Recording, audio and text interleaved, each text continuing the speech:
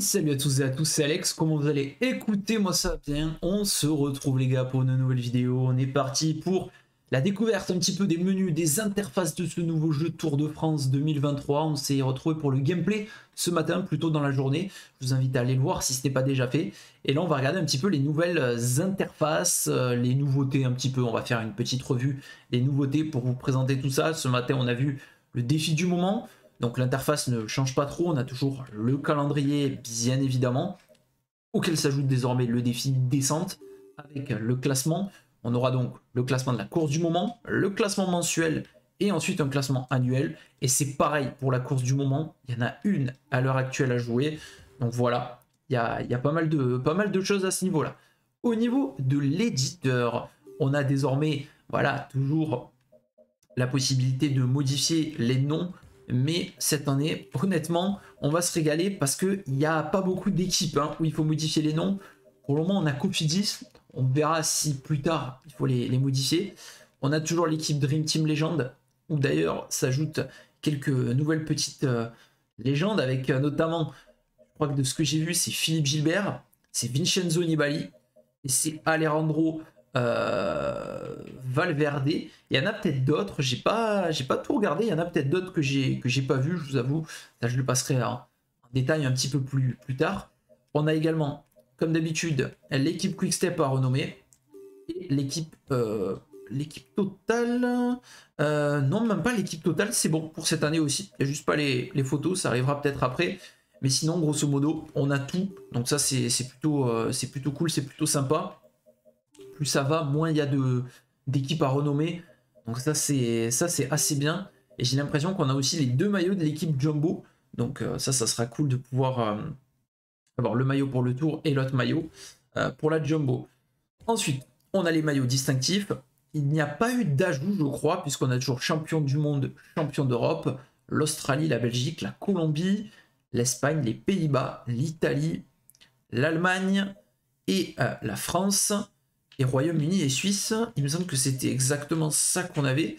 Euh, à moins qu'on ait... Euh, on n'avait pas le Danemark ou l'Irlande avant, peut-être, c'est possible. Mais ça a dû être remplacé par Australie. Voilà.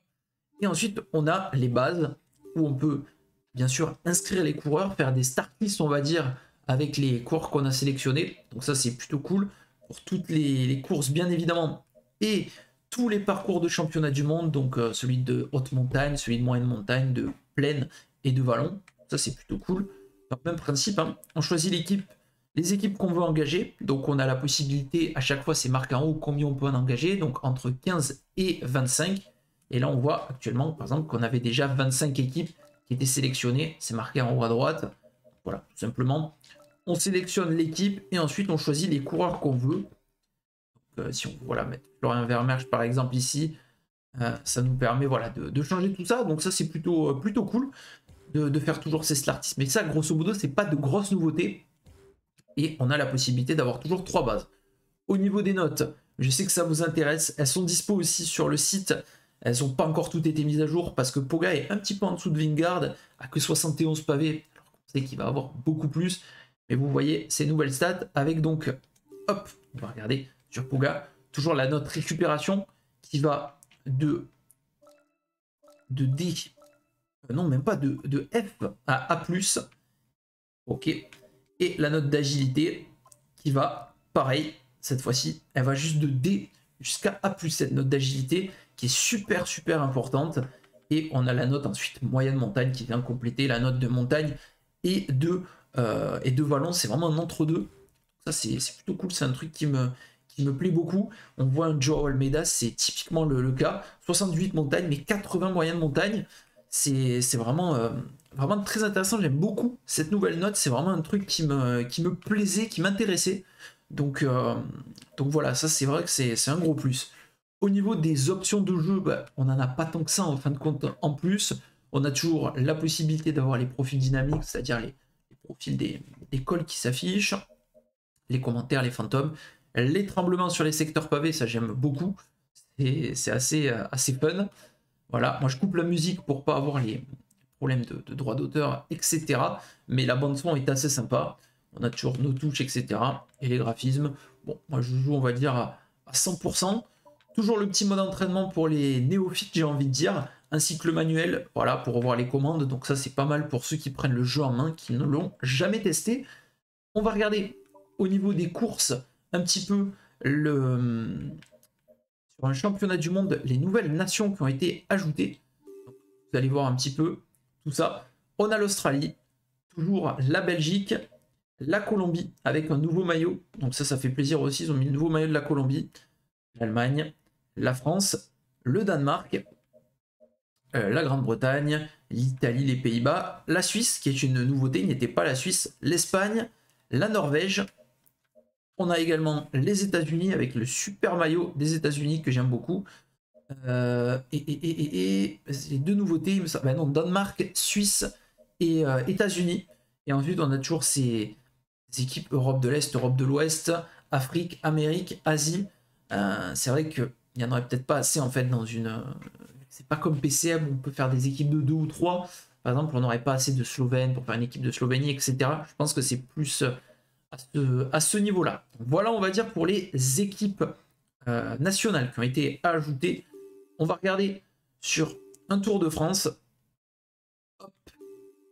On va juste lancer un petit Tour de France comme ça. Je vais vous montrer.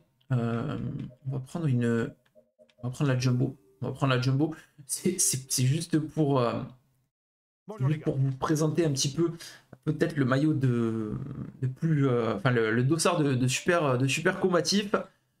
on va simuler l'étape. On a toujours cette possibilité forcément d'aller se simuler l'étape si on a envie de faire des, avances, des avances rapides sur des étapes peu intéressantes. Mais c'est vrai qu'il n'y a pas trop d'étapes peu intéressantes. Celle-ci est top à Bilbao. Il se passe souvent de très très belles choses. C'est une petite victoire de Valentin Madouas. Alors, ce que je voulais vous montrer. Les petites nouveautés, elles sont là. Bon, c'est du détail, hein, c'est rien de bien méchant, mais vous voyez, on a les petits euh, sponsors pour l'étape. Donc, vous voyez, classement de l'étape continentale, continentale. On a le Leclerc pour le meilleur grimpeur, le Skoda avec ce nouveau maillot qu'on a vu sur Paris-Nice que j'aime pas du tout. Mais bon, c'est le nouveau maillot officiel, ils ont été obligés. Le sponsor Chris, le Région Haute-Seine pour l'équipe du pour la meilleure équipe et ensuite la combativité Century 21, malheureusement, le dossard n'est plus rouge aussi. Donc ça, c'est dommage. On va essayer de trouver Nicolas aidé. Et en plus, on est meilleure équipe. Donc ça va nous permettre de regarder un petit peu cette implémentation des dossards jaunes. Et vous allez voir donc ces nouveaux petits maillots aussi. Vous voyez le maillot vert qui est vraiment top du tout. Personnellement, j'aime euh, j'aime pas. Et on va voir donc le dossard. Vous voyez mon dossard jaune qui est, euh, qui est vraiment très très sympa en fait. Là, on le voit vraiment bien, le dossard jaune de meilleure équipe. Petit changement aussi, vous voyez McNulty avec le maillot blanc, et il a donc le casque blanc et son vélo blanc. Donc c'est des petits, des petits détails qui sont euh, très très sympas. Pareil pour Valentin Madouas, qui aborde donc un petit casque vert avec ce, nouveau maillot vert, que je trouve pas non plus incroyable.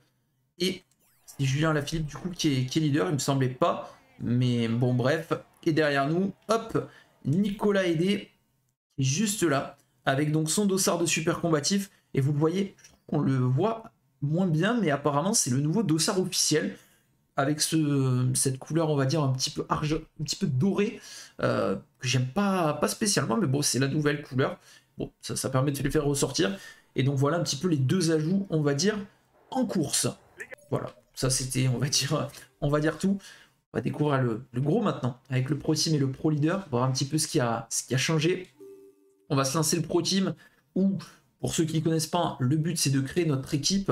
Donc on part avec une équipe assez faible, et ensuite le but bah, c'est d'augmenter chaque année, de recruter les meilleurs coureurs. Au fur et à mesure, avec notre classement et d'équipe, ça nous permet d'avoir des, points et d'accéder à, de plus en plus de courses pour avoir de plus en plus de points, avoir de plus en plus d'argent et pouvoir recruter de plus en plus de coureurs et des coureurs en plus fort également. Voilà, c'est vraiment euh, cet objectif, c'est pas de partir de rien, parce qu'on part quand même avec des coureurs assez solides.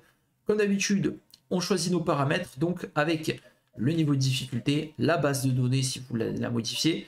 Moi, je mets toujours les abandons sur les chutes. Je désactive les préparations, par contre, en mode, euh, en mode pro team. Les incidents de course GS en normaux, tous les coureurs sont impactés. Chute avec abandon, maladie avec abandon. Et la nouveauté, c'est qu'on peut choisir notre budget. Donc ça, c'est ce qui va permettre, on va dire, d'avoir un peu plus de challenge. on a un budget serré. Donc là, on va pas pouvoir se permettre des... Voilà, exactement comme ils disent, de grosses folies. On va devoir faire vraiment des choix cruciaux. On va pas pouvoir euh, directement se faire une équipe de rois. Un budget normal. Donc dès la première saison, confortable. Donc dès la première saison, voilà, on peut recruter quand même quelques bons coureurs. Et euh, on a le budget large qu'on va regarder. On va regarder un petit peu tous les coureurs dispo avec tous les types de budget qui nous permettent donc d'avoir directement des très très gros coureurs. Et ça s'arrête là. Voilà, c'est trois trucs. Ça, c'est plutôt bien. Ça permet de, changer aussi le, challenge. Au niveau des maillots, on a 18 maillots. C'est la même template, simplement la couleur, la couleur qui change, vous voyez. Ils sont assez sympas. Il y en a que je trouve plus ou moins beau quand même. Mais euh, j'aime beaucoup le rouge. Et j'aime beaucoup également ce bleu là. Donc euh, je pense que ça partira peut-être sur un de ces maillots. On va prendre celui-là. Les fans de Perpignan vont aimer parce que ça fait très catalan. On va mettre Alex. Pas la va-vite, hein. c'est pas l'équipe que je vais utiliser. On va pas lancer de let's play aujourd'hui. Et donc, vous voyez le menu qui change pas des masses. On a toujours la possibilité d'avoir toujours ces coureurs-là. Le budget, on part avec 400 000. Donc ça, on va se le noter, 400 000. Et on a la possibilité d'avoir 6 petits coureurs. Jonas Vingard n'est pas le plus cher, c'est Pogacar, mais parce qu'il est aussi dans la catégorie des jeunes. C'est clairement les deux plus chers du jeu. Avec également un Jasper Philipsen très cher pour un sprinter, 1,6 million. On a Merlier et Jacobsen aussi qui sont très forts, mais là les trois premiers, de fou. Philipsen c'est également parce qu'il a 77 pavés, et eh oui c'est pour ça, et qu'il est maillot blanc. ça va être le coureur à avoir un Philipsen dans son équipe. Et ensuite on a Remco, Van Der Poel et Van Aert qui sont très chers, mais je trouve limite pas assez, euh, surtout pour un Van Aert qui pourrait être encore plus cher. Il a 77 de moyenne montagne hein, au bout de Van Aert. Assez intéressant. Donc, on a toujours la possibilité d'avoir des jeunes coureurs, de filtrer par les jeunes et de filtrer par les coureurs disponibles. On voit qu'en première saison, on pourrait déjà se prendre de bons petits coureurs. On a du, du Rodriguez, du Christian Rodriguez, du euh, Brooks. Solide. On a du Xandro Meurice, du Queen Simons. Déjà se faire une équipe euh, plutôt sympatoche hein, euh, sur cette première saison. on va recruter un petit peu comme ça à la va-vite. Tac, tac. Là, on a un budget euh, hyper large. De toute façon, pour la première saison, ça nous permet d'en mettre aussi de, côté. Ok, donc là, ils nous avertissent qu'on n'a pas pris de polyvalent. Mais on va, on va quitter très rapidement de toute façon.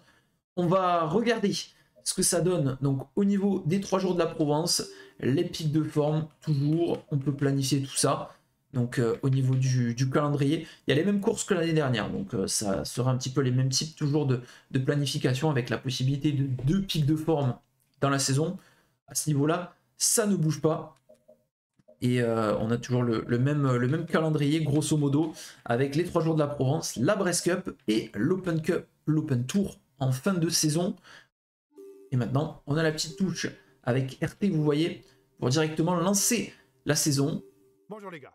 Et voilà, donc cette première course, j'ai pas regardé qui c'est que j'avais pris au sprint. Je vais essayer de remporter l'étape pour être euh, leader du, classement monde et, euh, aller euh, très clairement montrer le, maillot de, leader de la Coupe du Monde.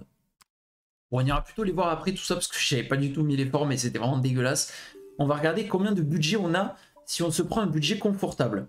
C'est le but, tac. On va lancer à la va-vite. 300 000. Donc voilà, et ça nous euh, bloquerait éventuellement. en fait, on aurait plus ou moins les, mêmes coureurs. C'est juste peut-être qu'on peut économiser pour, euh, la suite. Petit Romain Grégoire qui me, qui chauffe aussi. Pas mal de coureurs, je vous avoue, qui m'intéressent. Si on prend un budget serré cette fois-ci, avec quoi on part? Là, on part avec 200 000. Donc forcément, pour faire une, grosse équipe, c'est beaucoup plus compliqué. Il suffit qu'on prenne un Brooks, on est déjà à 150 000. Un bon petit euh, sprinter, j'allais dire euh, Rutiger Selig, pas mal. Et là, derrière, voilà, derrière, il faut déjà faire des choix parce qu'il nous manque euh, quelques coureurs pour avoir un, avec un budget un peu plus, un peu plus serré. Kevin Genietz, là, par exemple. Là, il nous faut un coureur à, à 20 000. On va prendre un petit de la place. Et ensuite, deux coureurs de vallon. Donc on peut se faire du... Peut-être un coureur à 30 000 avec euh, ben. Et, euh, et, on termine avec, tiens, qui... Il y, a, Google, c'est pas mal. Mais vous voyez que là, on est vraiment limite. Donc euh, c'est vrai qu'il y a ces petits changements de budget qui sont très très sympathiques. On va juste mettre Rudiger Selig en, en, pic de forme. En fait, on va tous les mettre en, en pic de forme sur la première course parce qu'on va jouer que la première c'est juste pour se faire euh, juste pour se faire kiffer sur cette jour de la Provence et essayer de vous montrer un petit peu le, maillot de leader du classement. Malheureusement, je pense qu'on va pas voir ce, nouveau maillot puisque bah, j'avais pas pensé que si on gagnait forcément, on ne pourrait pas le, porter. Mais euh, on est euh, on est avec deux petits maillots et vous voyez que ils ont pas mis des maillots uniformes, ils ont changé un petit peu. Bon, fait un peu particulier que c'est maintenant, mais c'est bien ça, ça change. Et du coup, on a désormais des maillots pour chaque course. Vous voyez le maillot vert qui est un peu, euh, un peu différent, le maillot blanc, le maillot jaune là-bas. Donc euh, chaque course, on va dire un petit peu sa, spécificité en termes de maillot. Donc voilà pour les, nouveautés. On verra pas, hein, je pense, parce que ça sera, ça sera toujours en cours avec le maillot distinctif. Et après, euh, à l'issue de la saison, les autres courses qu'on va faire, on l'aura pas aussi. Donc pour le sur la première saison, c'est vrai qu'on va pas trop le voir, le maillot de, de leader de la, spécialité. Mais, euh, on l'aura euh, on en tout cas par, euh, par la suite. Et vous voyez un petit peu. Donc ces nouveaux, ces nouveaux maillots c'est des changements aussi sur, ces, sur ces courses. Regardez le pro leader maintenant. Là aussi un peu comme le mode Pro Team, mais cette fois-ci, c'est notre coureur que l'on va créer. On va choisir sa spécialité, euh, sa taille, son poids, sa nationalité, son âge. Et le but, voilà, c'est de devenir le meilleur coureur du monde en faisant un petit peu les mêmes courses. Et là aussi, il y a des nouveautés. Donc, toujours les difficultés, les bases de données, les chutes, les préparations, les incidents de course, le budget qu'on peut définir. Donc, ça aussi, c'est sympa. Pareil qu'en Pro Team.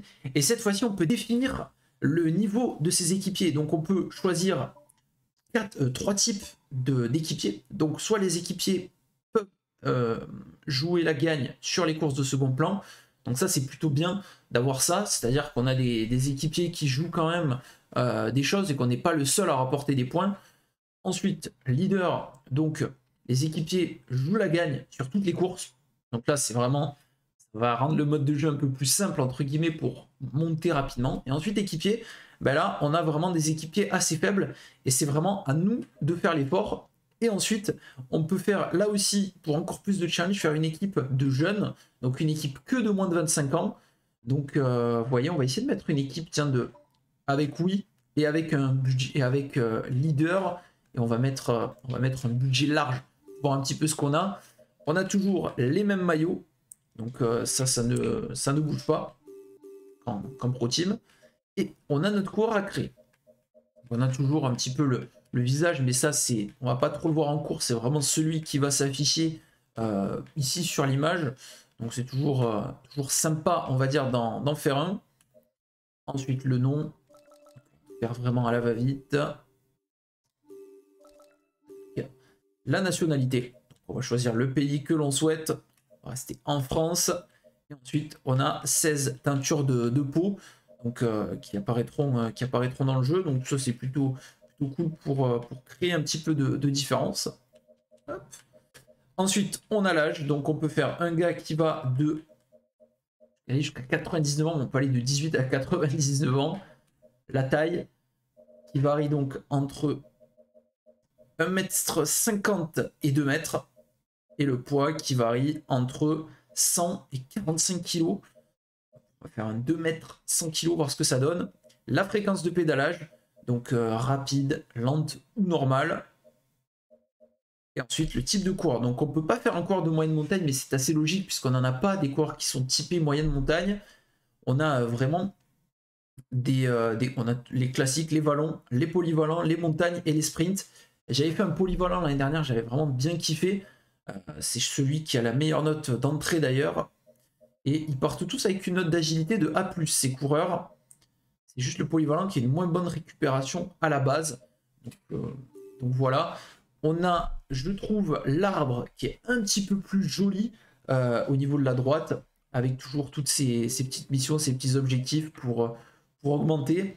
Et là, vous voyez qu'on a d'entrée une énorme équipe. Hein. On a Ben Illy, Etanator, Alberto Dainese, Brandon McNulty, Luke Plape, et notre coureur, mais c'est déjà une très très grosse équipe, vous voyez, pour la première saison. Donc ça, ça nous, on est vraiment parti avec le truc, on va dire, le plus, le plus simple. Et si on repart pareil, en mettant par exemple une équipe d'équipiers, de, jeunes coureurs avec un budget serré, à mon avis là, on n'est pas sur, on n'est pas sur la même chose. Hein. Les, équipiers du coup, eh oui, c'est pas les mêmes équipiers. Hein. C'est Fisher Black, c'est Driners, Lebert, Blow et Markle. Donc voilà, ça aussi en fait, avec le niveau, en plus du niveau de difficulté qu'on a qui permet de jauger la difficulté en course pendant le gameplay, on a cette nouvelle, euh, ces nouveaux petits réglages euh, qui apparaissent et qui permettent en fait d'avoir totalement des modes de jeu différents, d'avoir des équipiers différents. Donc ça c'est plutôt cool. Moi j'aime beaucoup le, le, mode de lieutenant, justement. On faisait une équipe un peu de lieutenant, de jeunes coureurs. J'ai envie de voir ce que, ça peut, ce que ça peut donner, parce que ça peut être très sympa. Et on part avec une équipe, voilà, on part avec une belle équipe, pas une équipe surcheatée, mais une équipe très intéressante avec du Bjerg, avec du Vandenberg, avec du Tesfazion, du Lascano et du Monique c'est pas des coureurs qui vont exploser d'entrée, mais c'est des joueurs, euh, des coureurs voilà, qui peuvent bien nous accompagner. J'aime beaucoup, j'aime beaucoup, j'aime beaucoup. Les équipiers, c'est vrai que c'est peut-être un peu, un peu chaud quand même d'avoir que des équipiers. Alors que là, les lieutenants, ça permet de, progresser, parce qu'on sait c'est un mode qui est quand même très très difficile au début. Donc, euh, donc ça, change, ça change pas mal de choses. Grosso modo, pour les menus, il y avait ça à voir. Il y a quelque chose aussi que je vais vous montrer sur une course. On va faire la, plus courte possible. On va faire les trois jours de Provence. On va aller euh, simuler tout ça. Je vais pas modifier. J'ai pris une équipe vraiment au pif. On va aller simuler et vous allez voir le résumé à la fin de, de la course, voir qui était leader, qui a remporté l'étape et tout. Donc ça, je trouve que c'est vraiment une petite nouveauté bien sympathique. Je sais pas encore si on l'a en pro team, je l'ai pas regardé. Euh, je j'ai pas j'ai pas fait de gros tours etc en pro team, je l'ai pas vu. Mais c'est une nouveauté qui est très intéressante, vous allez voir. Allez, on va analyser maintenant un petit peu ce que ça donne. Vous voyez un petit peu ce qui apparaît. On peut toujours accélérer. Mais à la fin de la course, on a ça. Trois jours de Provence. Première étape, donc le vainqueur et celui qui portait le maillot du classement général. Donc, euh, et ça, dessous, ça nous met son classement au final. Donc euh, voilà.